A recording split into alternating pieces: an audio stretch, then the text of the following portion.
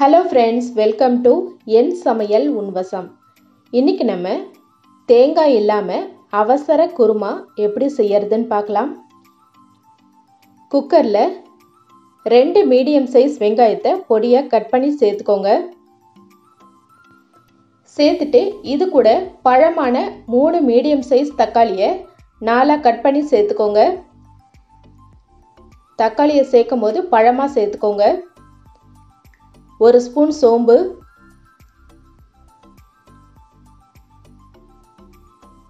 இது கூட ஒன்றரை ஸ்பூன் தனி மிளகாத்தூள் சேர்த்துக்கோங்க. மிளகாத்தூள் மட்டும் உங்கள் காரத்துக்கு ஏற்ற மாதிரி சேர்த்துக்கோங்க. சேர்த்துட்டு இது கூட அரை ஸ்பூன் மஞ்சத்தூள். அரை ஸ்பூன் இஞ்சி பூண்டு பேஸ்ட்டு சேர்த்துடலாம். தண்ணி ஊற்றிட்டு மூணு விசில் விட்டு வேக வச்சு எடுத்துகிட்டு வந்துடலாம். இப்போ பார்த்தீங்கன்னா நல்லா வெந்துருச்சு. இதை மத்தால் கொஞ்சம் மசிச்சு எடுத்துக்கோங்க. மிக்சி ஜாரில் சேர்க்காம மத்தாலே மசிச்சு எடுத்துக்கோங்க. உங்ககிட்ட சட்டி இருந்தாலும் அதில் போட்டு நல்லா கடைஞ்சி எடுத்துக்கோங்க. இந்த மாதிரி மத்தால கடையும் போது நல்லா டேஸ்ட்டாக இருக்கும். அடுத்தது தாளிப்பை ரெடி பண்ணிக்கலாம். வானலில் கொஞ்சம் எண்ணெய் சேர்த்துக்கோங்க. எண்ணெய் லேசாக சூடானதும் ரெண்டு பட்டை ரெண்டு லவங்கம். பட்டை லவங்கம் பொரிஞ்சதும் இது கூடவே ஒரு ஸ்பூன் கடுகு சேர்த்துக்கோங்க.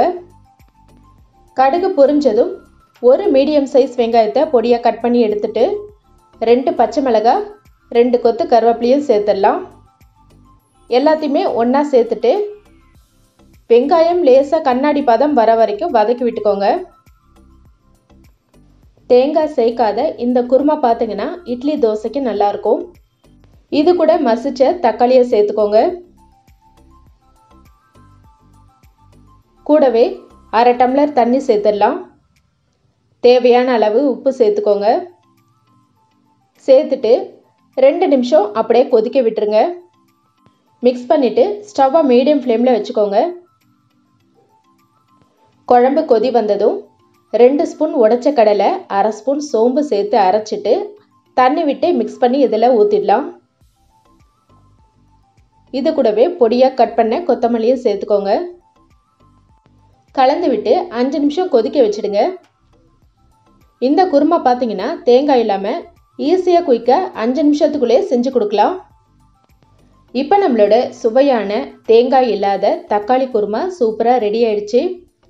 இதே அளவோட நீங்கள் வீட்டில் கண்டிப்பாக ட்ரை பண்ணி பாருங்கள் ட்ரை பண்ணி பார்த்துட்டு உங்கள் கமெண்ட்டை கீழே கமெண்ட் பாக்ஸில் போஸ்ட் பண்ணுங்கள் இந்த வீடியோ உங்களுக்கு பிடிச்சிருந்தா லைக் பண்ணுங்கள் ஷேர் பண்ணுங்கள் மறக்காமல் என் சமையல் உன்வசம் சேனலுக்கு சப்ஸ்கிரைப் பண்ணுங்கள் தேங்க்ஸ் ஃபார் வாட்சிங்